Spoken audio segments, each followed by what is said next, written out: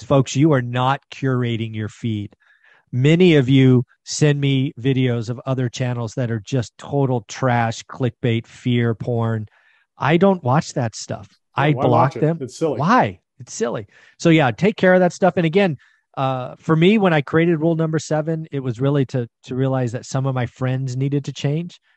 Um, but today, because of social media, those uh, those algorithms, they're like one of your best friends. They know you better than you.